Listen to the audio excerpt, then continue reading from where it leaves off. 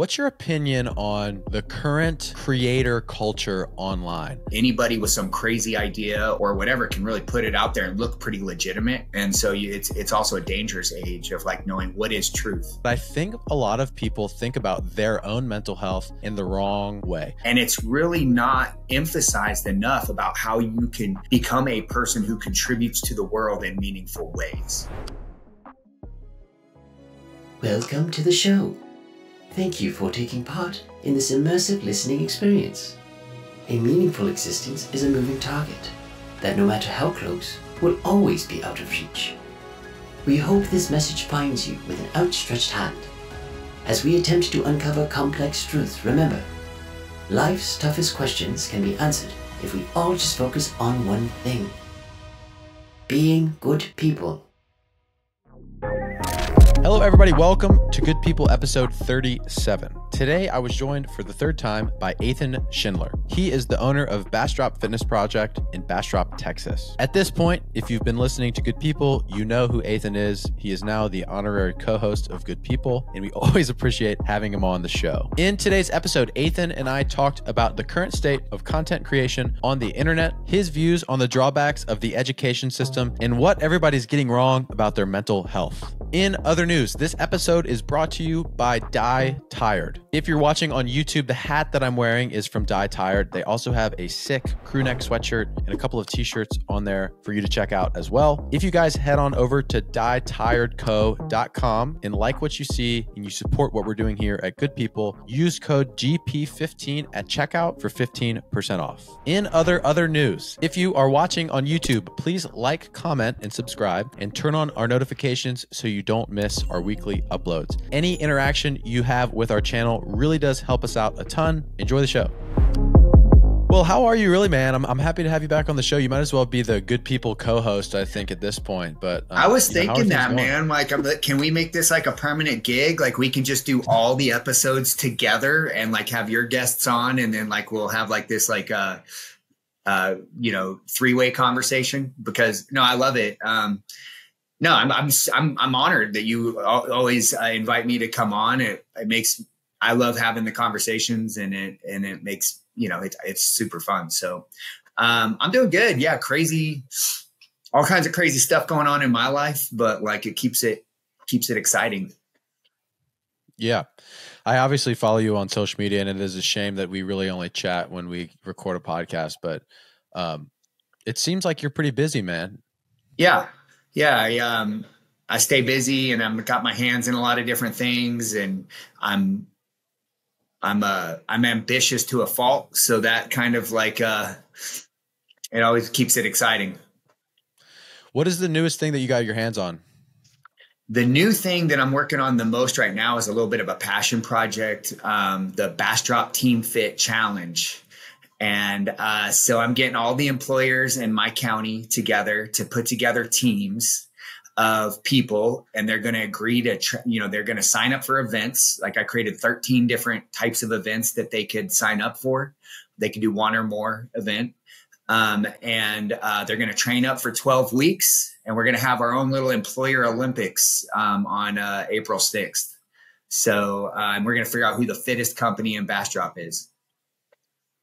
Oh, very cool. What kind of events have you put together? Is it CrossFit style stuff or is it just a mix of whatever? No, purposely not CrossFit style stuff. It's like, um, you know, uh, there is, uh, for example, um, there's a uh, body weight medley where there's an individual and team version of this, but you could you would do as many push-ups, sit-ups, air squats, and uh, pull-ups as you could in uh, 12 minutes. Mm-hmm. So the, the individual version of that is break it up any way you want, kind of strategize how you need to to get 12, 12 or to get as many as you can. And then the, the team version is, is like, you're the push up guy. I'm the air squat guy. Someone else is the pull up guy. And you do as many as you can in three minutes for a total combined score. Um, so that's probably the most CrossFitty thing of all of it.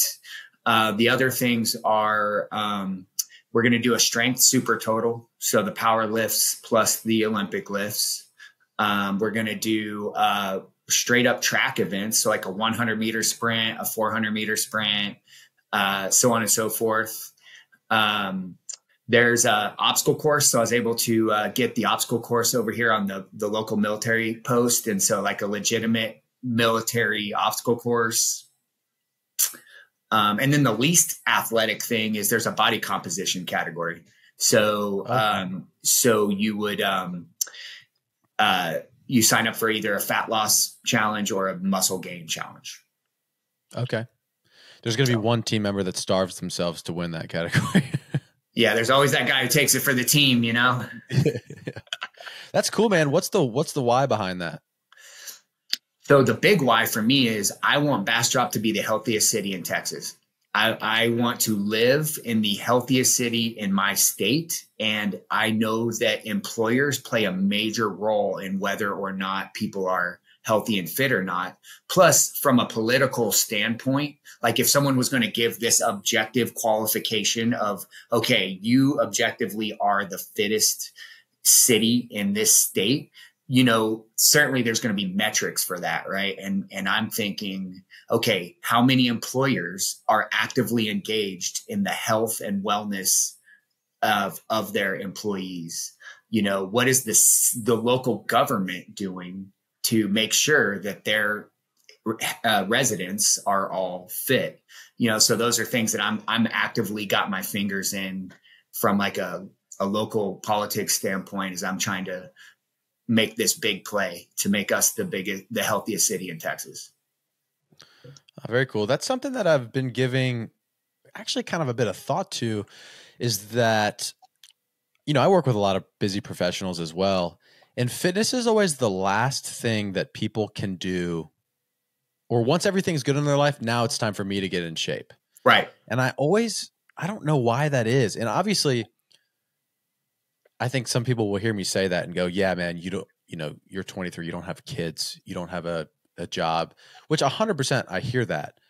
But I do think that that challenge of making your fitness like the first priority, not first priority necessarily in terms of like more important than your family, but fitness is the thing that from an outside perspective, the busy people that I know that are really consistent with their fitness and they make sure that they get it in that's kind of the glue that holds all the other stuff together. So I think yep. for the people that do struggle with it, who um, have a hard time being consistent in the gym and would, and would hear me say you've got to make fitness a priority, would be like, yeah, right, buddy. Good luck in in a decade.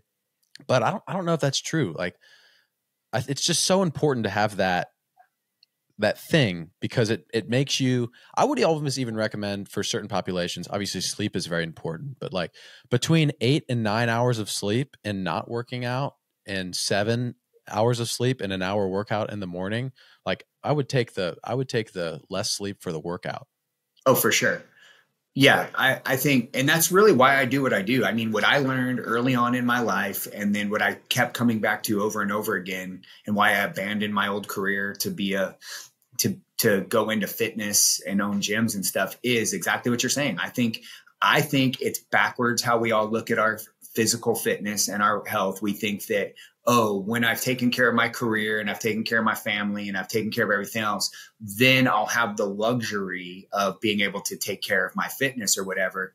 And what I'm saying is that that's completely opposite.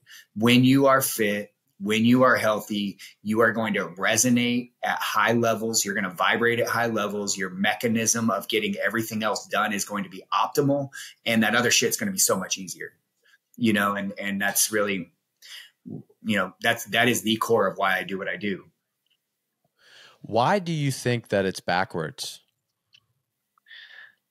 Well, part of it is uh, we are still babies we're infants and toddlers socially where we remember we came from a we came from a you know hunter gatherers and you know our ancestors moved all the time because they had to like you know what i mean it was like you know we are now at a at a advanced stage of like technology where it's we're still kind of new to figuring this out you know, everybody worked their asses off. It was like, let's work. And that is my fitness. That is my health. And that kind of just took care of that for us. We didn't have to think about or actively carve out time for it. And I think that yeah. like we're still toddlers in, in this new age and we will eventually come to the realization that we had that all wrong. But right now it's not the it's not the common discourse.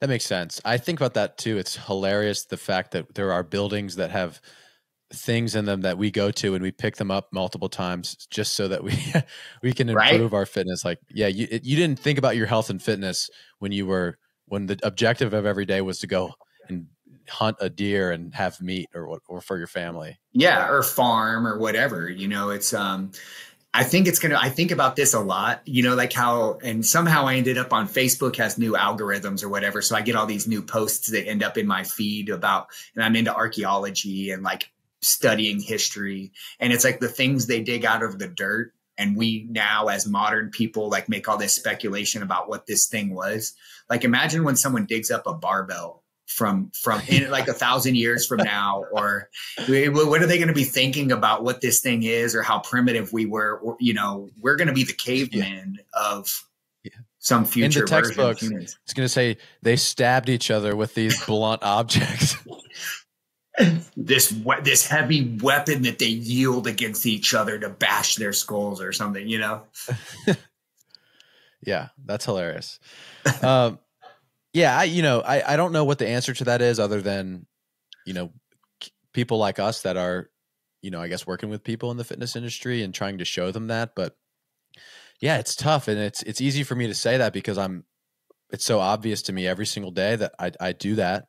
You know, I have a very I, every day I work out and I acknowledge that I feel better afterwards just strengthens the proof to me that th- the fitness is the thing that makes all of the other stuff better. Um, but it's hard to it's hard to learn those lessons when you are in those high stress environments where you know when you're worrying about how much money am I going to make on this check? Like, are my kids gonna do they know that we're struggling right now? Things like that. I, I definitely both of those things are true. You know, it's very hard to do it but it's important to try to figure out how to do it. Yeah, and there's the the pressures of of career, right? Like I mean like you you know, when your boss is like telling you you need to do better, you need to do better. I mean, your first thing is like cut everything else out. Let me just focus on my job, you know, because that's who the that's the squeaky wheel. That's that's the that's the loudest noise of telling you you're not doing a good job. You don't really hear your body until much later telling you like, hey, you need this. Yeah. I'm interested. I want to talk to you about this. What are your what's your opinion on the current creator culture online?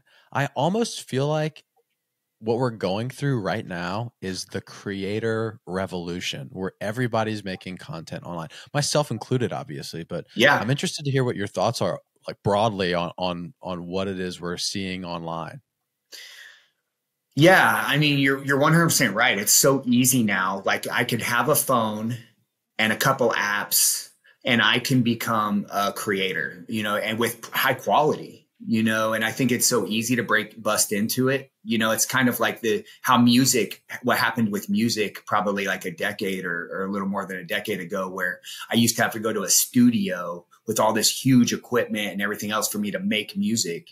And now I can, and now it's gotten smaller and easier. And so my, my thought on, I'm torn on it because I'm actually, it's funny. I'm actually going through this thought process right now for myself is I would like to create my own personal brand, like who I, how I want to show up for the world and how I want to contribute to all the people in my life we are in an age where you know you get that message out through these platforms that are created for us you know the, the instagrams the tiktoks the the facebooks and all that stuff and i personally don't like recording everything that's going on in my life and like the the the you know I, I, don't enjoy that. But i'm also seeing the need for like if i want to show up in the world the best way that i possibly can and really make make a difference like when i die i'm laying on my deathbed and like did i make a difference? I think we're in an age where you kind of have to have a brand and you have to have you have to be putting that out there through these platforms and so i'm really wrestling with that personally with it so um, I think it's damn. I mean, I think there's a lot of like, it's it's hard too because the, anyone, any knucklehead, anybody with some crazy idea or or whatever can really put it out there and look pretty legitimate and look pretty knowledgeable. And so you, it's it's also a dangerous age of like knowing what is truth, what is fact. Do you know who Dan Koe is? Dan Koe? Yeah. No. He is an online creator. Uh, I he I think he mostly does a lot of writing now, uh, and I'm not sure if he has a book, but uh, he's a writer, online content creator, very much in the same space that you and I are interested in, which is like self improvement, philosophy, those Mhm. that kind of guy.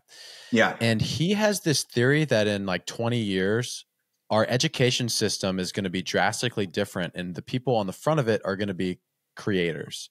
And so, um, the the top of the top, you know, think of like the biggest platforms: Joe Rogan, Modern Wisdom uh, with Chris Williamson, uh, Dax Shepard and his Armchair Expert. There's obviously a bunch of big podcasts that I'm not familiar with, just because I I don't really consume a lot of stuff outside of that that world. But um, these will be the places that we go to for our education. So whether it's through like an online course or a free podcast, this is how we're we're going to learn. And I I like that idea because something that I'm trying to do with the show now is focus a little bit more on the education. I have a couple of uh, interviews lined up with researchers, and I'm I'm going to go into the research that they conducted, papers that they've written, um, talk about. I'm I'm speaking to somebody in a couple weeks on. Um, I'm not sure if he came up with it or if he just studied it and it was already a pre-existing system, but it is a uh, something he calls news finds me. So my generation, uh, we consume our news by letting it come to us. You know, on Twitter, on Instagram, we're scrolling, we see it, uh, and he's studying the implications of it and a bunch of other factors related to it. But I think that when it comes to creation, using it as a tool to educate yourself and other people is great. What I get so I mean, I I get so frustrated by it when I see it when it's like, if you want to make it 1K extra per month, comment freedom in the comment section for my and I'll and I'll DM you my whatever. I'm like, everybody's doing that. And it Yeah. feels to me like it felt cryptocurrency in 2018, 2019, NFTs like two years ago, where everybody all of a sudden started doing it. And I can't help but feel that in some way, I don't know what I don't know if crash is the right term for it, but there's going to be some sort of creator crash where it's things change. It's just not the same. You know, I don't really know what that would look like, but I don't know. It just feels like that to me.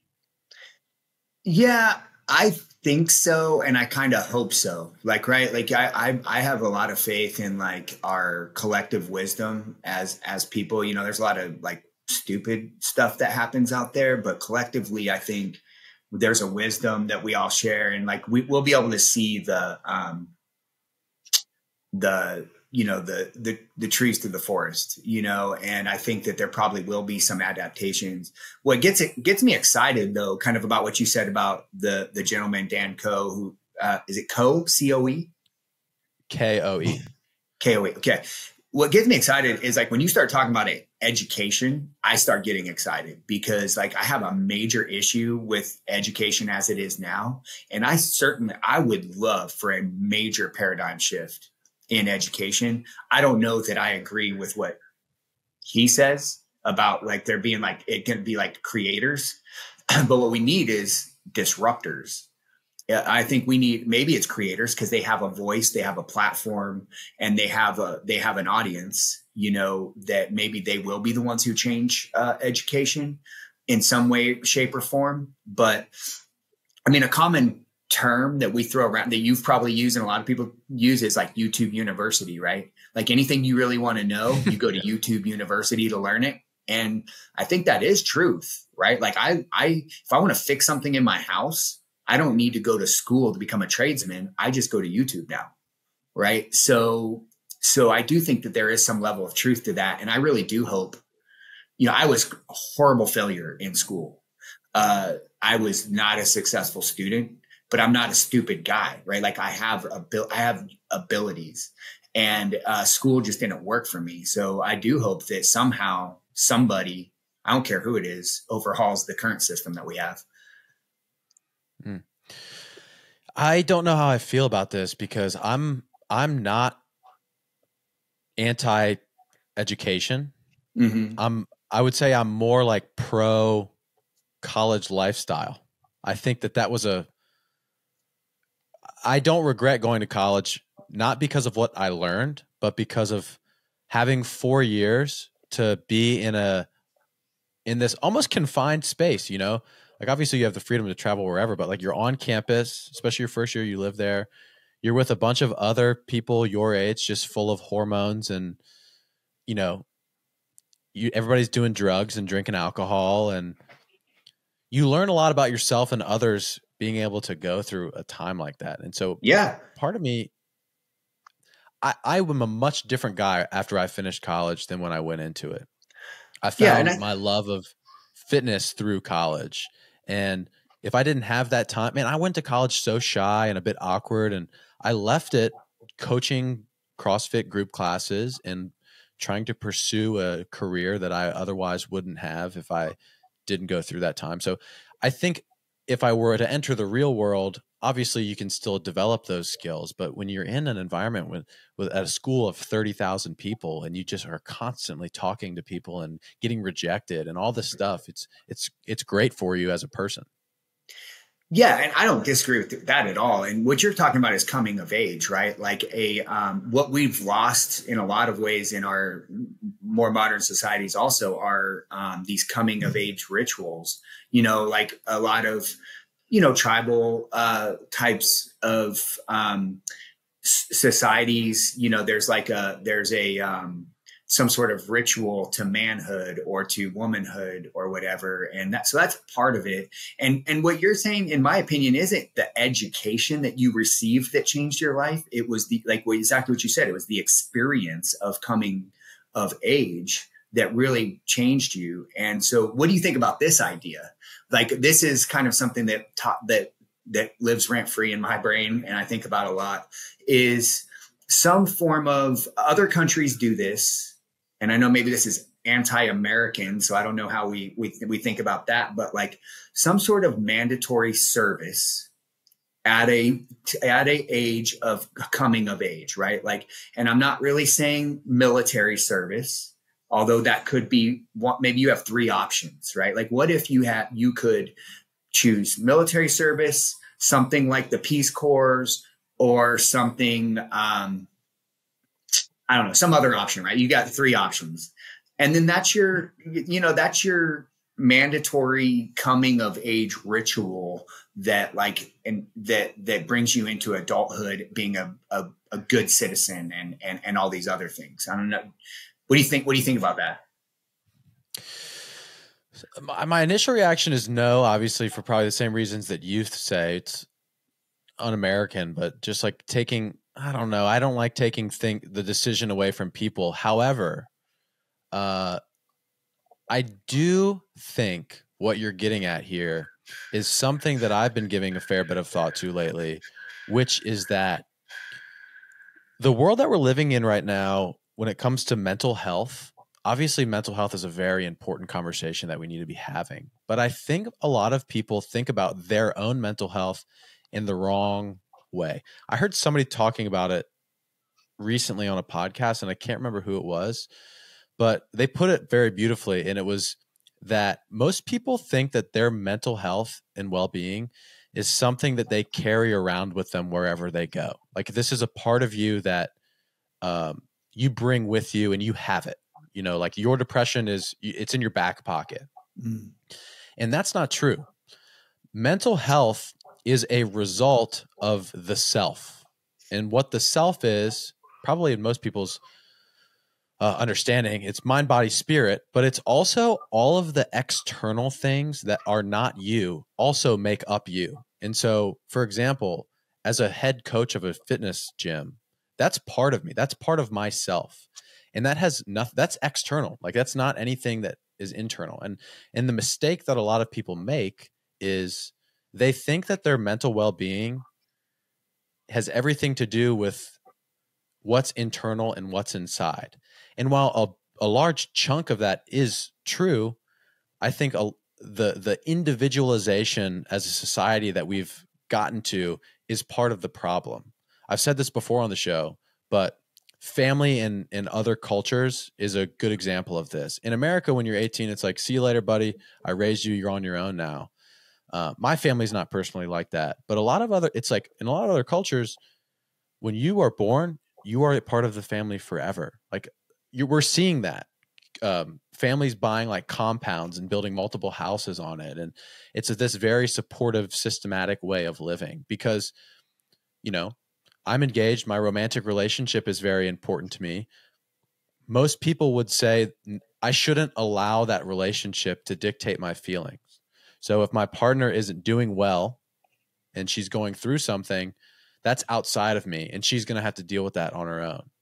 Yeah, she's a she's going to need to do a lot of that self-work on her own, but that relationship affects me. And so kind of what I'm getting at here is if you forced those things like you're saying, whether it's military or it's Peace Corps or you become a scribe or something and you spend 4 years in a library re- reading books, what that would do it was it would teach you that you can you need to give yourself to something.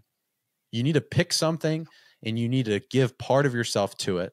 And it needs to be this obligation that whether it's making your bed every morning because you're in the military or showing up and building a house for somebody in a in another country because you're part of a peace corps or it's waking up every morning and hitting the books because it's your obligation. I think forcing people to at least for some time having something that they're required to do and seeing the results of that work would would a lot of people would grow exponentially during a time like that. Yeah absolutely. Uh, and and actually that makes me think about like maybe that's my beef with education as it is right now is that I, I have a daughter in college right now. She she goes to american university. And and really I think what we're taught, what we teach our kids now is like education. It's, it's like all about you and you need to develop yourself so you can go have your career and you can go make your money.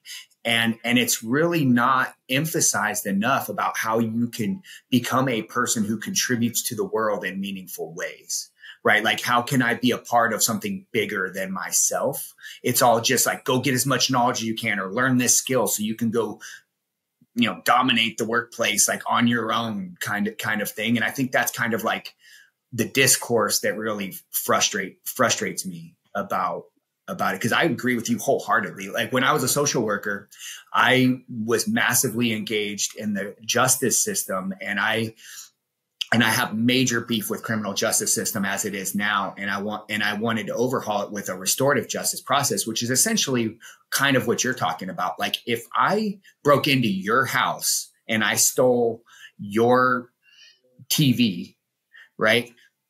I didn't, I, it wasn't a crime against the state, right? Like that wasn't a, I, I, it was a crime against you as a victim, as a member of my community, as a member of my tribe.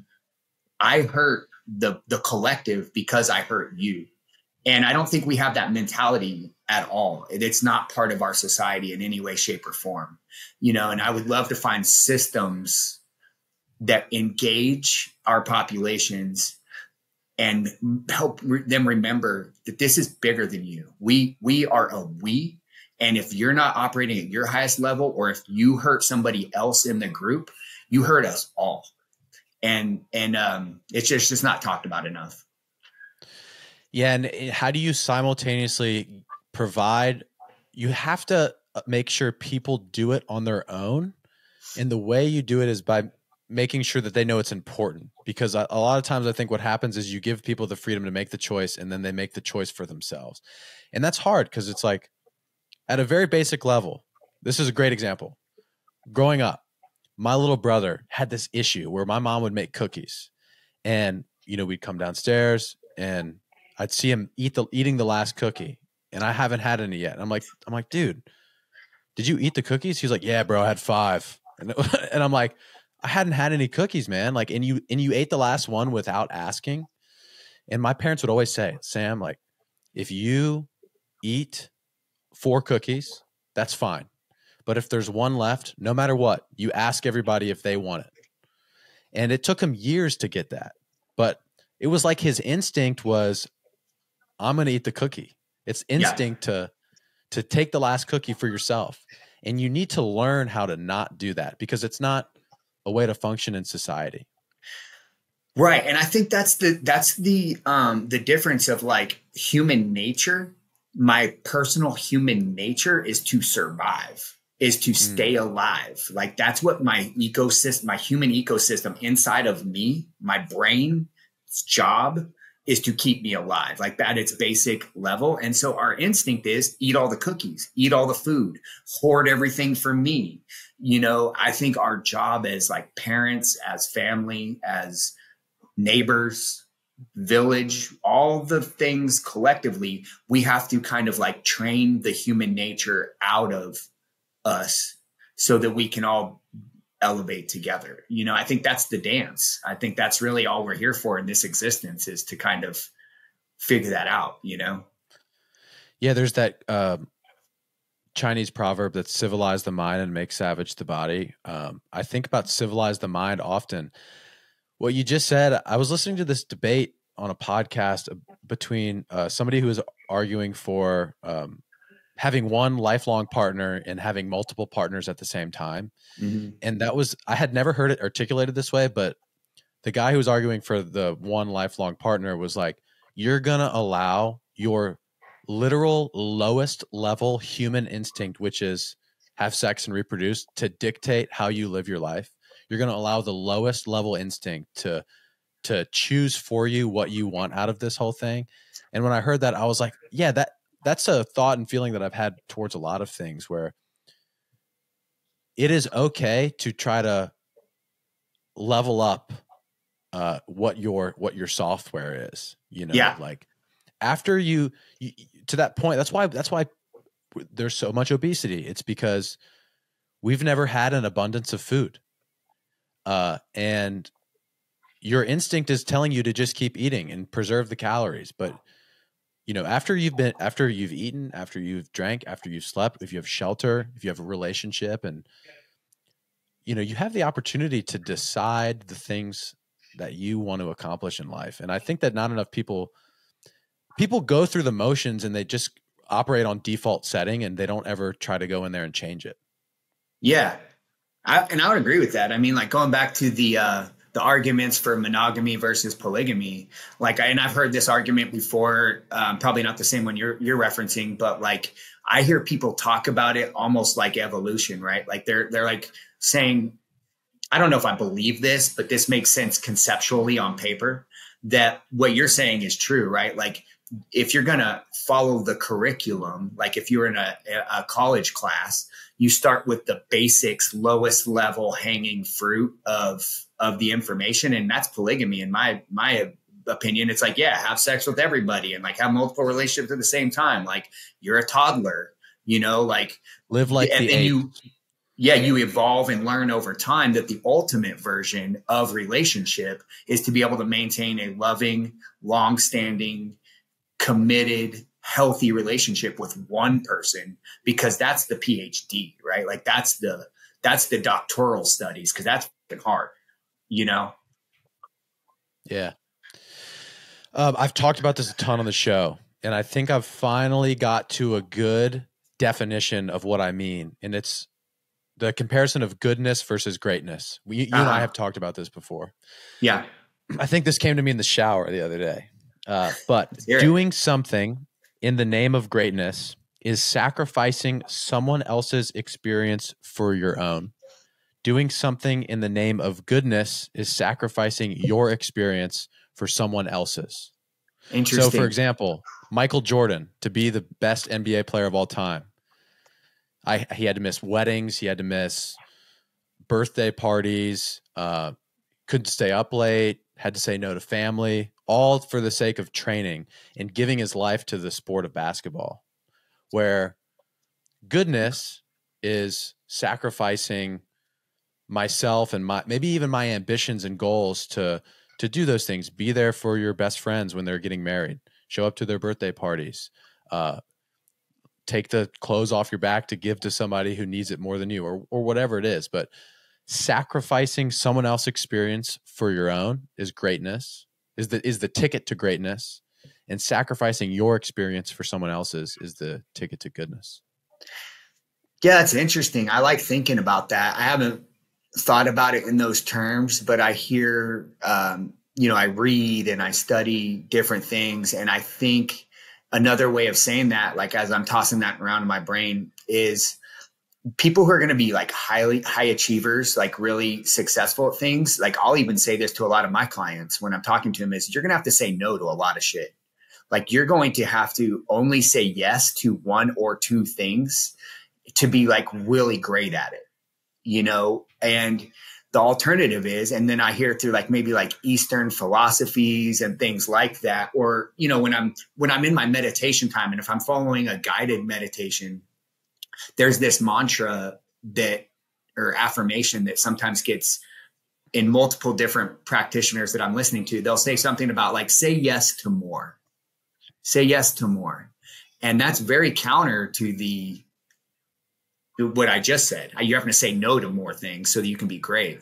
And so I think that's the difference. Goodness, being open and being a part of the universe and being connected means you're going to have to say yes to more. And then greatness is going to be like, nope, you can only say yes to one or two things. You're going to have to say no to everything else. So as I'm tossing that around, what you said, I think that makes a lot of sense, you know? And what is the right answer? I don't know. uh, I want to be a great fitness coach. I want to be a great podcaster. I want to be a great partner. Uh, and so these two things don't exist opposite of one another. They're just two separate metrics. And so to that point, I think, for example, I've I really like music and I really like art. Those are two things that I've not really ever pursued in my life because to me, whether I get more enjoyment out of it, fulfillment, uh, the the physicality of things, jujitsu, being a fitness coach, just seems like it's more my thing. And so I'm sacrificing the ability to do the musical and the artistic things uh, for the sake of the other stuff.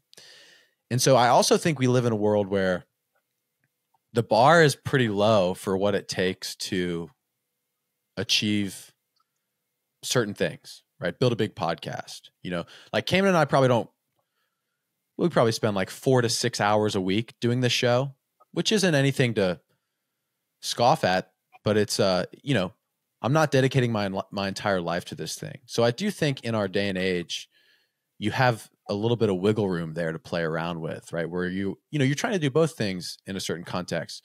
What's important to me though is that I never sacrifice a, the opportunity to do good for the opportunity to be great. You know, I would rather help more people and nobody ever know my name than to pursue something all in hopes that you know people know who I am and and aspire to be like me. Yeah. I think you can do both. I mean, you can't do both at the same time. I don't think. I don't know if. I mean, maybe it's possible. We probably maybe have some examples of people in the world that like maybe have been great and done good at uh, at the same time. But I do think it comes in like ebbs and flows. It's like a pendulum of swinging. Like you mentioned Michael Jordan, which is like a, maybe he's not going to be the best example of what I'm about to say, but like we'll just go with it. He's maybe he's debated as the greatest basketball player of all time. He was great, and he now because he was great has the opportunity to do a lot of good, and maybe he does. I don't know what his donations are like or like what his philanthropy is. I don't know anything about that part of him, but we know he was pretty savage as a basketball player. I mean, that's well documented but, you know, I think you can go back and forth between greatness and goodness and, and really use that platform of greatness to, to do the good, you know? I would agree with that. And, uh, it, like that's a pretty age old story, you know, like, uh, this guy left it all. He was, he was a prodigy and he left it all to go do whatever for whoever and was able to do lots of good in the world. I think Matt yeah. Fraser is a good example of this uh, in the CrossFit space. For five years, he literally dedicated every ounce of his being to winning the CrossFit Games, and he did every single year. And now that once he finished and he started doing all of interviews, everybody thought Matt Fraser was this huge asshole and like just wouldn't talk to anybody. And when he got mm. done with his career and he retired, and people were asking him about it, he was like, "Yeah, man, I just if I did an interview, it, it took away my focus from training. Uh, Yeah. If I if I didn't sleep in my every single thing in his life was to make his body perform at an optimal level. Literally, not one thing did he do that that made him worse. Right. Yeah. And now that he's retired, he talks about it all the time. How he works out like an hour a day. He spends a lot of time working on his business, HWPO, providing a great program, a fitness program for people that are that are looking to get in shape, and he's doing a lot of good. So I think greatness is is a platform to eventually do good, but it is very difficult to do both at the same time.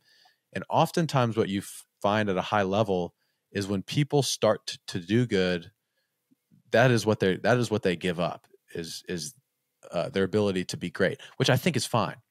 Yeah. Yeah, I think it's fine. It's just choices. And like, it's like, I think what people don't realize, and I think you and I talked a little bit about this on a past episode, is just know you have a choice. Like, don't, don't try to lie to yourself and say, you got, you only, I, I can only do this or I can only do that. Like, just know that, like, at any given moment, Matt Fraser's a good example because to uh, all of us in the uh, public eye, it kind of came out of nowhere, right? He like overnight said, I'm done. That's it and and and he made that choice he just kind of walked away from it and we can all do that at any moment on either side of that coin and i think i think that's just really important for for us all for us all to know you know Yeah, yeah. Um, I'll, share this with you too. Something cool that's happened to us recently. Do you did you listen to the episode on this on the show with Dr. Tracy Vaillancourt, who did uh, was on the bullying? That was one of the earlier ones right? Yeah, I think it was episode fourteen. yeah. I i, re- I listened to that one. Okay, so I interviewed her right, mm-hmm. and I think three or four weeks ago, Chris Williamson on Modern Wisdom interviewed her. what and this episode came out right? Yeah she's super awesome dude. Like research head uh in canada. She studies a lot of um women dynamics she is also a like a u17 one of the provinces in canada's women's soccer coach like national level. She like studies the dynamics of the team and how gender differences are with uh, social interactions and things like that on top of bullying as well. But I texted Cayman uh, and I was like, dude, all of a sudden overnight, like our Tracy Vaillancourt episode got like 300 extra views on YouTube. I'm like, I don't know what's going on. And then a couple weeks goes by and I'm, I'm scrolling through and I, I see that he interviewed her and I was like, whoa, this is crazy. yeah So number one, super awesome that that happened. But two, uh, I've listened since listened to my recording with her again, and I've listened to the Chris Williamson episode. And what's very cool to me is the guy who I try to. I'm copying this guy, and when it comes to being Yeah. doing a podcast, I literally have a. This is what my interview could have been, and this is what my interview was, and you know I've I've taken notes on it. What's the difference? What can I do better to uh, improve my my ability as a podcast host, etc? And uh, that's something very recently that's happened that I think is a huge, I guess, uh, underrated thing that's happened to us. That's amazing. Well, that's super. That's a co- super cool. What's a testament? I mean, it's a testament to you and the quality of the people that you're trying to get on your on the show. Because like someone like like Chris Williamson is like a great example of somebody who gets who, who does it right. You know, he clearly is throwing his whole life into this thing, and he's like really focused on it. So I think it's a great affirmation for like what you're doing to to have that.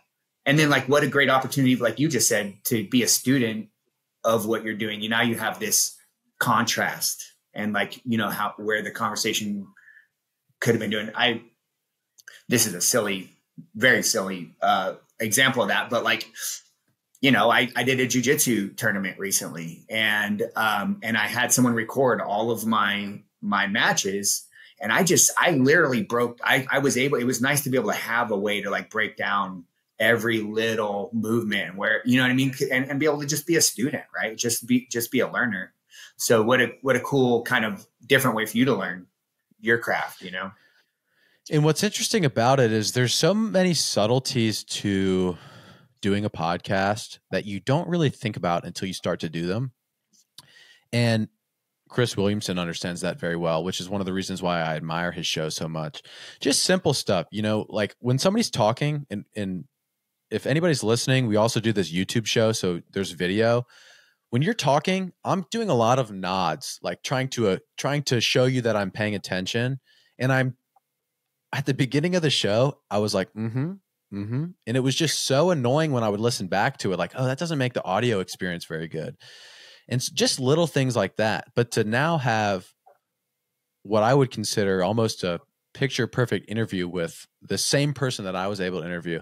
It it points out the flaws in my not that I had a bad episode, you know. I can't compare myself to him at all. He's 12, 13 years older than me, has been doing this podcast thing for many more years than I have, but just to see the differences and and be able to put them side by side and draw a direct comparison is such a helpful tool. Yeah. Hell yeah and and it's cool that you're not beating yourself up over it too. I think there's a there's a mindset of a certain type of person who would just like really just run themselves through the dirt and just like beat the hell out of themselves in the process of seeing like something like like that, you know. And so, um, you know, that's it's really cool for, to see that you you truly are a student and a learner, and rather than just someone who's just trying to be a high performer at all costs. And when you don't perform, maybe it whoever's level of expectation, you can really do some damage, you know, psychologically, you know? Yeah. I mean, I am hard on myself.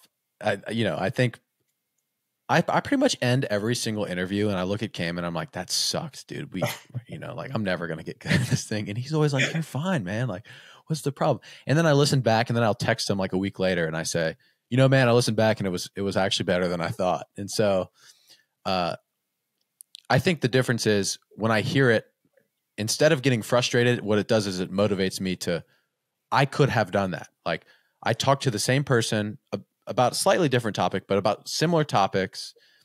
I'm very much, have you read The Creative Act by Rick Rubin? It's on my list. Yeah, I haven't read it yet, Dude, but move it to the top. It's so good. Okay, uh, done. But he talks, I'm, I'm sure if you've even heard him talk, he talks a lot about as a creator, what the point of having a habit as a creator like a writing habit is so that you can create space to receive something that the universe already has created. So if i'm writing a story his view is that story already exists. I need to be receptive enough to receive it and then record it. And mm. obviously like myself and the individual you put your own twists on it and that's what makes it creatively unique about you.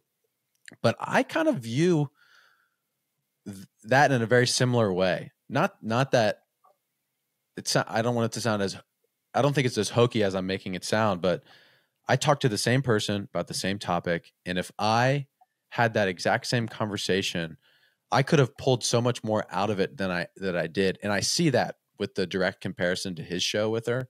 Mm-hmm. And so I think having it it less so frustrates me and it more motivates me to aspire to be able to do that with people. Yeah, I think it's like a really healthy way to look at that. And I think the thing that I've learned, I've been so fortunate to get to be around some like really elite people in a lot of different fields. You know, I've just kind of like stumbled my way And I think what I learned from that and what I'm hearing you say in this conversation right now is the difference between me and them these elite people who I look up to who've accomplished these amazing feats and or maybe careers or whatever whatever it is it's such a small difference between me and them.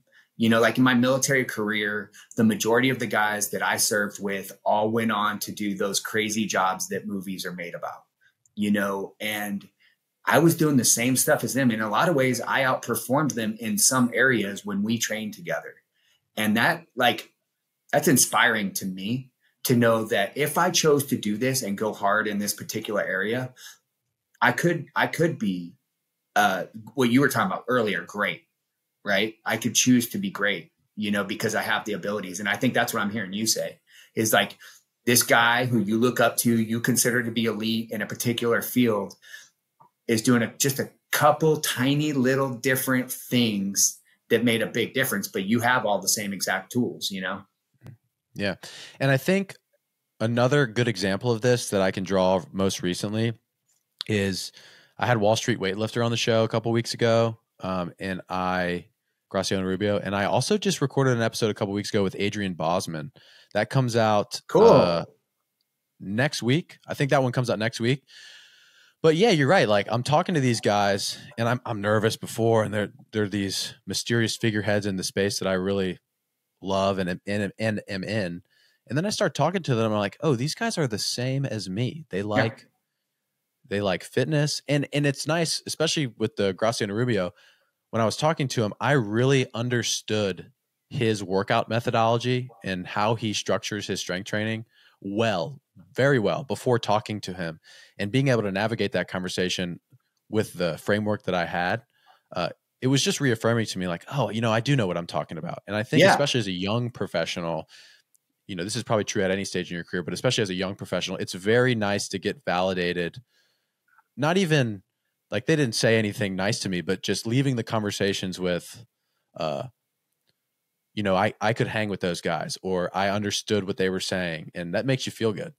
Yeah, I think that goes all the way back to something I'm tossing around for myself, kind of where I led the earlier part of the conversation is where I think the difference between people who we tend to look at as really successful and like where I look at myself is what those folks do is realize they had a unique ability, like they have a unique ability and they really like focused on that.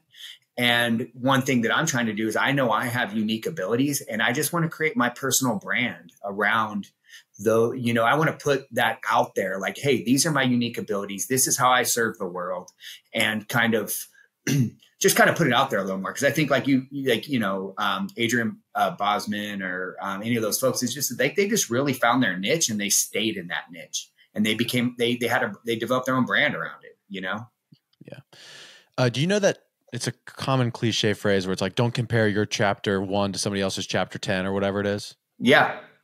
I think a good flip to that is not only should you not be comparing your chapter to somebody else's later chapter, but you also haven't read their book. You know your own book because you lived it. I, I had this conversation with a client this morning. We were talking, I can't even remember what we were talking about, but she said something about me that was kind of, it was a compliment, something about one of a trait that I have that was admirable.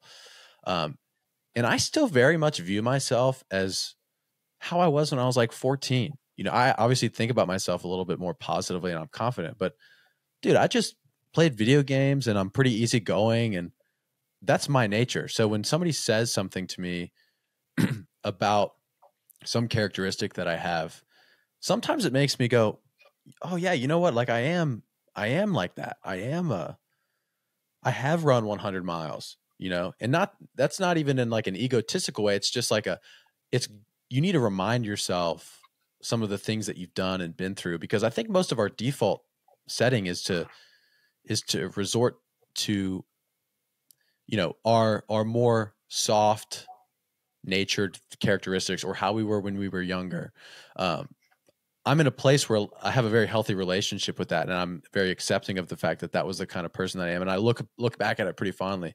But you forget sometimes that you were looking at not only somebody else's chapter later on, but you don't you don't get to see when they were also the awkward, uncomfortable teenager trying to figure it out.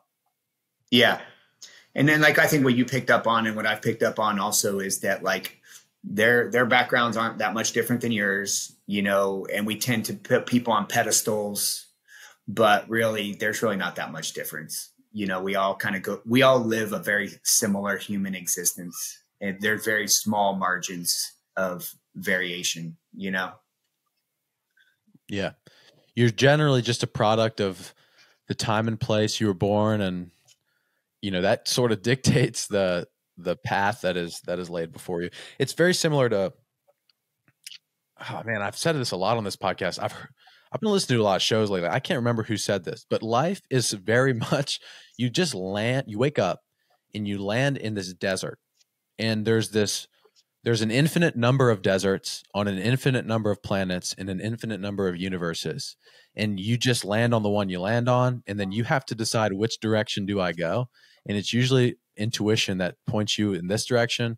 And once you start, you're not stuck on that path like we talked about earlier. You can change it, but it almost puts guardrails on what it is that you can accomplish. And the farther along you get in life, the less choice you're going to have to make as to the direction of it.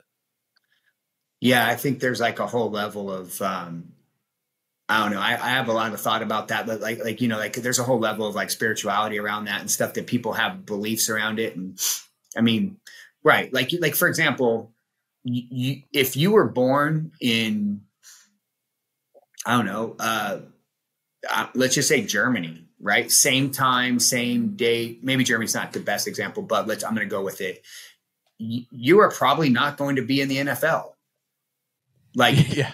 You know what I mean? Like you just weren't born in the country that is going to develop you and foster you at to be an NFL player. Like period. That level of greatness is out of your option. You know? And it's just the way it is. I'd probably be into beer cheese and driving BMWs. yeah, or, or, or soccer or something else, you know, but yeah. Yeah. Um well, listen, yeah. man, I think that is a kind of a good place to wrap it up. Is there anything else that you'd like to add? I want to make sure you get your workout in. Yeah, no, man, it's uh no, this has uh been awesome again. Like I I really appreciated the conversation and um yeah, I'm I'm I'm honored to be on the show, so I really appreciate it. Yeah, the next time you're on, we'll have to like cut you a check or something, but thank you for being the honorary good people co-host. Well, I appreciate you, man. Thanks for having me on the show. Yeah, absolutely. I appreciate you. Thank you so much. Thank you guys so much for listening to this week's episode of Good People. If you guys are watching on YouTube, before you head out, please like, comment, and subscribe, and turn on our notifications so you don't miss our weekly uploads. If while you were listening, you enjoyed, please share it with someone you love, perhaps your grandma. We'll see you next time.